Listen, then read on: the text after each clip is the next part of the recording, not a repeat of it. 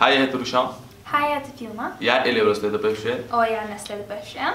Og vi elevrådet representerer alle elevene på skolen. Ikke nok med at vi passer på at alle elevene skal trives og ha det greit på skolen, og at de skal føle at deres stemmer blir hørt. Vi i elevrådet jobber tett med ledelsen for å få til arrangementer på denne skolen for elever.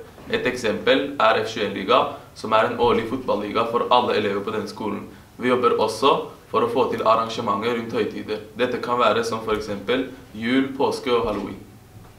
Du burde søke på F21 hvis du ønsker Og komme til en skole der du kan være deg selv, Og få masse nye venner, og ha lærere som er flinke og kunnskapsrike. og i tillegg får du også en Mac.